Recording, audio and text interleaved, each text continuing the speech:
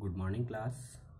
Today's topic, chapter number one nutrition in plants previous class में अपना modes of nutrition हो चुका था, जिसमें अपन ने डिफरेंट टाइप के मोड्स देखे थे ऑटोट्रॉफिक और हेट्रोट्रॉफिक ऑटोट्रॉफिक मोड में अपन ने देखा था ग्रीन प्लांट्स के लिए, जो क्या था, अपना फ़ूड खुद बना रहे थे सनलाइट के प्रेजेंस में, जिसमें ऑल ग्रीन प्लांट्स इंक्लूड किए गए थे एक एक्सेप्शन देखा था अपन ने ग्रीन प्लांट के अलावा कोसकट्टा, जो अपना खुद का फ़ूड खुद प्रिपेयर नहीं कर सकती। वो एक एक्सेप्शन था, अपवाद।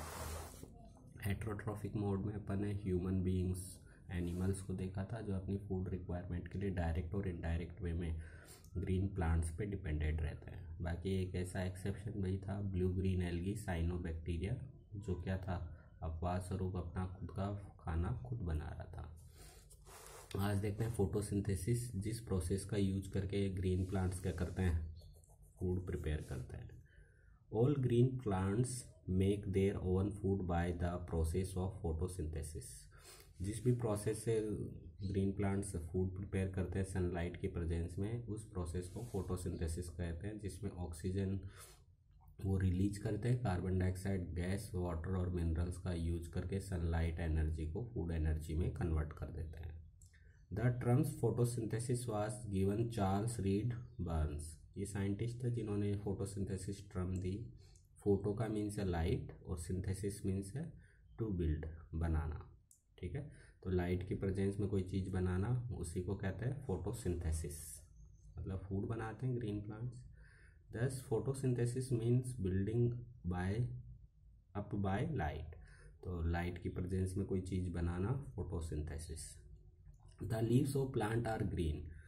Green colour होता है क्लोरोफिल पिगमेंट की वजह से। ये जो क्लोरोफिल पिगमेंट है, इसकी वजह से क्या होता है प्लांट्स का कलर ग्रीन रहता है। ग्रीन प्लांट्स ही फोटोसिंथेसिस करने में कैपेबल होते हैं। वो कार्बन डाइऑक्साइड एब्जॉर्व करते हैं पोल्यूटेड गैस एटमॉस्फेयर से। वाटर और मिनरल्स एब्जॉर्व करते हैं। सनलाइट एनर्जी को फ़ूड एनर्जी में कन्वर्ट कर देते हैं। और उस फ़ूड एनर्जी को फ्रूट्स के वे में स्टेम के वे में लीव्स के वे में सीड्स के वे में रूट्स के वे में स्टोर कर लिया जाता है और ऑक्सीजन गैस एटमॉस्फेयर में मिक्स की जाती है। तो इससे पता चल रहा है कि ग्रीन प्लांट्स एटमॉस्फेयर को क्लीन भी कर रहे हैं, साथ में अपने को फ़ूड भी अवेलेबल करा रहे हैं। They contain tiny green coloured bodies called chloroplast तो क्लोरोप्लास्ट की वजह से लीफ का कलर ग्रीन रहता है।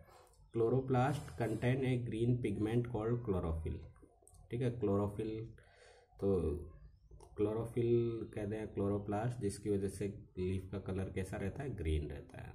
The chlorophyll uses the solar sunlight energy to prepare food from carbon dioxide and water जो सोलर एनर्जी है सनलाइट एनर्जी को यूज़ किया जाता है वाटर मिनरल्स के साथ और कार्बन डाइऑक्साइड गैस इसमें यूज़ की जाती है और उसको फ़ूड में कन्वर्ट कर दिया जाता है। तो ये फोटोसिंथेसिस की डेफिनेशन है। आप साइंस के रिकॉर्ड में नोट कर लीजिएगा और ये उसकी रिएक्शन है। The process by which green plants make their own food glucose from carbon dioxide and water by using solar energy in the presence of chlorophyll is called photosynthesis तो ये photosynthesis की definition होगी जिसमें chlorophyll जिन plants में present होता है, वो सनलाइट एनर्जी में कार्बन डाइऑक्साइड गैस का यूज़ करते हैं वाटर मिनरल्स का यूज़ करके उसको फ़ूड एनर्जी में कन्वर्ट कर देते हैं और क्या रिप्रोड्यूस करते हैं? ऑक्सीजन गैस और रिलीज़ की जाती है। तो ये कार्बन डाइऑक्साइड है six C O two six C H two sunlight की प्रेजेंस में क्लोरोफिल कंपल्सरी है। ये किसको? ग्लूकोज में। C six H twelve O six में कन्वर्ट कर देते हैं और six C oxygen particles release करते हैं। तो इम्पोर्टेंट रिएक्शन है, ये आपने नोट कर लेनी है।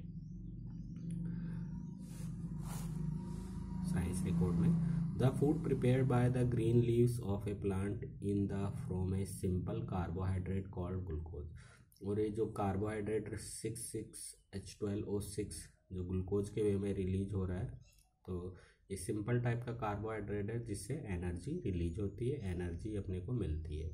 Glucose prepared by the leaves in the transport to different parts of the plant as a sucrose by the phloem tissues plants में देखिए डबल टाइप के टिश्यूज होते हैं फ्लोएम और जाइलम टिश्यूज अब देखिए प्लांट्स जो फ़ूड बनाते हैं, वो एनर्जी प्लांट्स को भी चाहिए होती है।